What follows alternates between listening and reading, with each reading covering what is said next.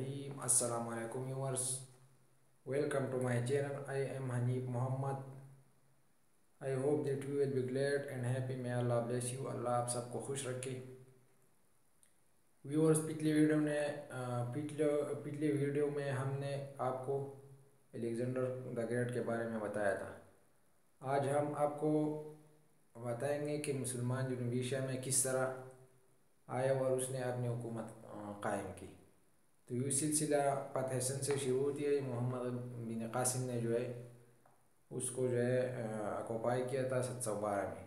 اور پھر اس سے جو ہے، یہ تاریخ شروع ہوتا ہے۔ تو دوستو، یہ عربوں کے ہندوستان میں آمد arrival of Arab in India Hindustan اور عرب کے مابین زمانہ قدیم سے روابط کے شواہد موجود ہے سن کا ساحلی علاقہ جنوب عرب کی نزدیک ہے۔ قدیم زمانے سے خاص طور پر ہندوستانی مصنوعات اور مثال حجات کی مصر اور یورپ میں بہت زیادہ مانگ تھی۔ یہ تمام تجارتی معاملات عربوں کے ذریعے طے پاتے تھے۔ یہ عرب تاجر ہندوستانی ساحلی علاقوں سے سامان تجارت یمن لے جاتے تھے۔ اور پھر زمینی راستے کے ذریعے مصر اور یورپ پہنچاتے تھے۔ ان تجارتی روابط کا سلسلہ اسلام کے پھیلاؤ کے بعد جاری رہا۔ ان روابط کا ایک فائدہ یہ ہوا کہ مغربی ہندوستان کے لوگوں نے عربوں سے شناسائی حاصل کی۔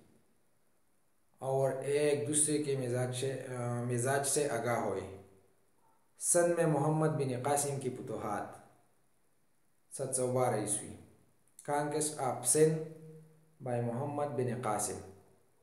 جب اسلامی فتوحات کا سلسلہ شروع ہوا تو بہت سے علاقے مسلمانوں کے قبضے میں آ گئی۔ انہی فتوحات کے دوران سرحدات ہند کو بھی پار کیا گیا۔ مکران سے گزر کر سن کی ہندو ریاست پر مسلمانوں نے چڑھائی کی۔ تو دیکھتے ہی دیکھتے ملتان تک تمام علاقہ ان کے قبضے میں آ گیا۔ عربوں کے حملوں کی وجوہات یہ عرب جو یہاں پر آئے تین کی وجوہات کیا تھی تو ویورز یہ آپ کو بھی بتائیں گے کہ وہ کیوں آئے تھے اور یہ کس کے جو ہے چڑانے کے لیے آئے تھے۔ تو اس کی وجوہات درج ذیل ہیں۔ عربوں کے سن پر حملے کے اہم وجوہات درج ذیل تھی نمبر ایک، عرب تاجروں سے ان کے ہم متنوں نے ہندوستان کے زرخیزی و خوشحالی کے چرچے سن رکھے تھے۔ وہ ان ذرائع سے اپنی تیزی سے پیلتی ہوئی وسیع و عریض سلطنت کے اقتصادی و دفاعی نظام کو استحکام دینا چاہتے تھے نمبر دو نب کریم صلی اللہ علیہ وسلم کی پیشن گوئی کہ مجھے ہند کی جانب سے ربانی خوشبو آتی ہے۔ سے بری صغیر پاک و ہند پر عرب حملے کے جواز پیدا ہو، کیا گیا۔ نمبر تین، سن سے تعلق رکھنے والے سمندری قزاق عرب جہازوں کو لوٹ لیتے تھے۔ نمبر چار، حاکم سندھ راجہ داہر نے عمومی خلافت کی مخالفین کو پناہ دے رکھی تھی۔ نمبر پانچ، فوری وجہ یہ تھی کہ سری لنکا میں مقیم عرب تاجروں کا انتقال ہوا تو لنکا کے راجہ نے ان کے بال بچوں کو بحری جہاز میں بسرا کے جانب روانہ کیا۔ عورتوں اور بچوں کے علاوہ جہاز میں کچھ تاجر بھی موجود تھے۔ ساحل سن میں دیول کے مقام پر سمندری قذاقوں نے اس جہاز کو لوٹ لیا۔ عورتوں اور بچوں کو قیدی بنا لیا۔ جب اس واقعے کا علم حجاج بن یوسف کو ہوا تو اس نے فوراً والی سندھ راجہ داہر کو ان کی رہائی کے لیے لکھا۔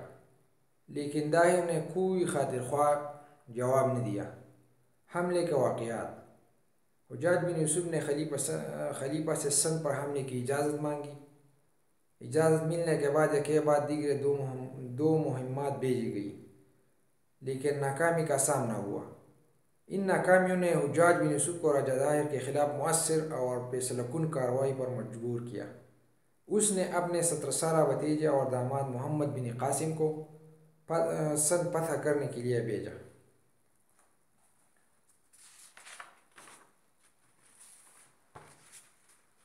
محمد بن قاسم ایک باری فوج کے ساتھ مکان پہنچا، جہاں سے محمد ہارون نامی عرب گورنر بھی عرب لشکر میں شامل ہو گیا۔ مکران میں اسے چار توپیں بھی پیش کی گئی۔ ست سو عیسوی کے موسم بہار میں عرب فوجوں نے دیول کا محاصرہ کر لیا اور اسے پتہ کیا۔ دیول پر قبضے کے بعد محمد بن قاسم نے رون کے طرف بڑھا۔ یہاں کے آبادی اور حاکم نے جو بدھ مت کے پیروکار تھے بغیر کسی مزاحمت کے شہر مسلمان کے حوالے کر دیا یعنی اس نے مقابلہ بھی نہیں کیا اور شہر کو جو ہے اس کو حوالہ کیا محمد بن قاسم مفتوحہ قوموں کے ساتھ حسنی سلوک اور رواداری کی وجہ سے بہت مقبول ہوا اور یہی مقبولیت اس کی مزید مفتوحات میں معاون ثابت ہوئی عرب فوج نے دریائے سندھ پر پل بنا کر راوڑ کا رخ کیا جہاں راجہ داہر اور محمد بن قاسم کے درمیان سخت مقابلہ ہوا، جس میں راجہ داہر کو شکست ہوئی اور وہ میدان جنگ میں مارا گیا۔ پھر یہ کے بعد دیگر برہمن آباد اور سندھ کے بڑے شہر بالخصوص راوڑ کے پاتھ ہوئی۔ پاتھ ملتان۔ آخر میں محمد بن قاسم ملتان کی طرف بڑھا۔ یہ شہر دفاعی نقطہ نظر سے بہت اہم تھا۔ یہاں ایک قدیم مندر تھا۔ ملتان بدھ پرستی کا بڑا مرکز تھا۔ عربوں نے شہر کا محاصرہ کیا جو طول پکڑتا گیا۔ آخر کار مسلمان، مسلمانوں کو وہ نہر بند کرنی پڑی، جس کے ذریعے شہر کی آبادی کو پانی مہیا کیا جاتا تھا۔ مجبور ہندوؤں کو شہر مسلمان کے حوالے کرنا پڑا۔ یوں بری صغیر میں عربوں کے پے در پہ فتوحات کی ایک نئی تاریخ رقم ہوئی۔ سن کا بندوبست۔ محمد بن قاسم نے سن میں عمدہ نظم و نصب قائم عمدہ نظم و نسق قائم کیا۔ حکومت کی بنیاد رواداری پر رکھی اپنے دور میں کسی شخص کو شہری حقوق سے محروم نہیں کیا۔ امن و امان کے خاطر تمام ملک کو، تمام ملک کو متعدد چاونوں میں تقسیم کیا۔ بعد میں یہ چاونیاں بڑے بڑے شہروں میں تبدیل ہو گئی۔ ان چاونوں میں مقیم سپاہیوں کو نہ صرف تنخواہ بلکہ مال غنیمت سے بھی حصہ ملتا تھا۔ سن میں مسلمانوں نے ہندو اور بدھوں سے غیر معمولی رواداری کا برتاؤ کیا۔ غیر مسلموں کو ہر طرح آزادی حاصل تھی جیسے ادا کرنے والوں کو جائیداد و زمین رکھنے کے حقوق حاصل تھے حکومتی اداروں میں مقامی لوگوں کو بھی ملازمتیں دی گئی۔ فوج میں ملازمت کی صورت میں غیر مسلموں سے جزیہ وصول نہیں کیا جاتا تھا۔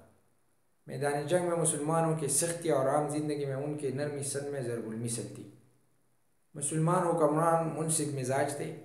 مقدمات کا فیصلہ اسلامی قوانین کے مطابق کیا جاتا تھا۔ محمد بن قاسم کا انتقال۔ ست سو پندرہ عیسوی میں ولید بن عبد ولید بن عبد الملک کے انتقال کے بعد سلیمان بن عبد الملک خلیفہ بنا، جس نے ذاتی رنجشوں کی بنا پر کئی اہم افراد کو معذول کیا اور ان کے گرفتاری کا حکم دیا۔